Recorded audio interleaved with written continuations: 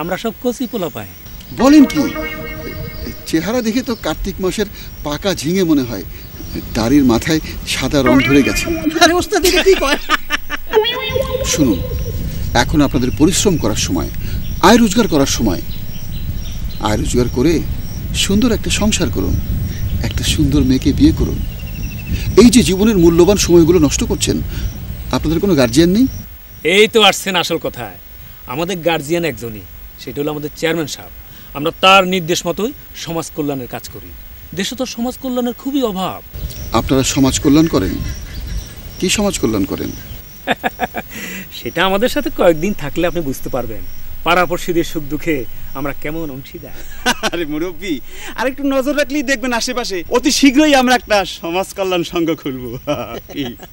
হ এবার আমনে সদয় সম্মতি দেন আমনেরে আমরা আমগো ক্লাবের উপদেষ্টা বানাইতে চাই। না না না আমি সমাজ কল্যাণে নেই। সমাজ কল্যাণে বড় ঠেলা রে ভাই। আমি এখন যাই। আরে আরে আপনি তো কইতেছেন কি?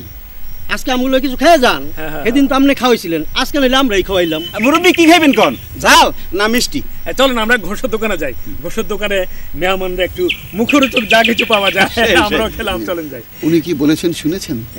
কি? উনি বলেছেন আজকে কিন্তু আপনারা আমাকে খাওয়াবেন। ঘোষের দোকানে? আরে নাই দেখুন, আমি নাও দেখি বলে নাই। নাই ঘোষের আচ্ছা দোকানে- যাক এখন হ্যাঁ? সমস্যা কি? হ্যাঁ, ঘোষের দোকানে বিল আপনাদের দিতে হবে। না না, আমাদের। আজকে আমার পকেটের অবস্থা খুব খারাপ না? কি বলেন? পাঁচ টাকা নাই?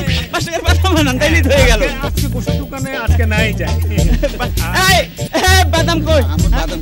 না না, একটু খাই আরে আমরা খাই এই মোটামুটি সাইজ করে ফেলাছিলাম। তুই আবার বড় উল্টা পাল্টা কি করছিস? তুই আগে ওইটা কইলি কেন? এবার আমি তো বুঝি আমি কইছিলাম যে লইয়া যা আগে পরে না খামু আমরা। টাকা টাকা তো অপমানিত করো না বেটা আমরা কি জানি রাখ রাখ রাখ রাখ অসুবিধা নাই। আরেকদিন পাবো তো। একদম ডাইরেক্ট আগে গোসের দোকানে নিয়ে তারপরে খাইয়ে দেয়া পরে রাইখা। রূপু আপনার কেমন বন্ধু? মানে কথাটা তো শুনে তো নাকি? রূপ আমার খুব ভালো বন্ধু। জোর করে ধরলে অনেক কথা শুনতে পারে। তাহলে ওর একটা বিহিত করছেন না কেন? আচ্ছা তার আগে শুনিনি। আপনি বিয়ে করেছেন? আসলে ভাবে আমি ইন্টারমিডিয়েট পাশ করার পরে সেরে ফেলেছি। তাহলে রূপককে বিয়ে করাচ্ছেন না কেন? আচ্ছা ওর কি কেউ পছন্দ আছে? আমি ঠিক বুঝি না। কি বলেন? দুজন বন্ধু অথচ একজন আরেকজনের বিষয় জানেন না? আসলে মানুষের একটা চরিত্র থাকে রূপুর অনেক চরিত্র। ওই এক একবার এক এক চরিত্র নিয়ে আমার সামনে হাজির হয়। কাজে আমি কিছুই বুঝি না। তা ঠিকই বলেছেন। কিন্তু তারপরও ওর জন্য তো কিছু একটা করার চিন্তা আপনার নিশ্চয়ই আছে। অনেক মেয়ের সাথেই ওর খাতির কিন্তু বিয়ে করার জন্য ওর কাউকে পছন্দ না। মেয়েদের সাথে খাতি লাগতে গেলে টাকা পয়সা লাগে।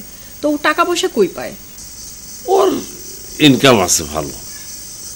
দোকান থেকে কিছু মানিং কাটিং করে কিছু ধান্দাবাজি করে। আর মাথার উপরে তো আফাজ চেয়ারম্যান আছে। তাহলে ওকে ভালো করতে গেলে আপনার পরামর্শ কি?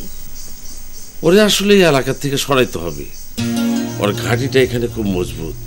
ওরে সহজে সাইজ করা যাবে না। সরাবো কীভাবে? ও তো এই এলাকা ছেড়ে কোথাও যায় না। তাছাড়া আমার ওখানেও যেতে চায় না। আমার মনে হয় রাত্রে যতই বাসা থাকে সে ব্যবস্থা করেন। এই রাত্রিবেলায় উড়নচণ্ডীর মতো ঘুরেই ও বেশি খারাপ হয়েছে। রাত্রে আপনি আড্ডা দেন না? আমাদের আড্ডা তো দুই ঘণ্টা। কিন্তু ওর আড্ডা তো সারা রাত। আচ্ছা আচ্ছা। আচ্ছা ঠিক আছে।